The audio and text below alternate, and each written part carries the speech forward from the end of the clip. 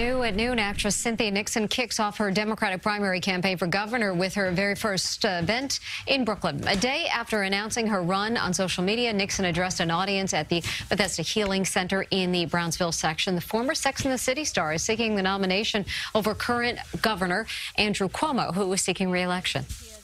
If Washington is a swamp, Albany is a cesspool.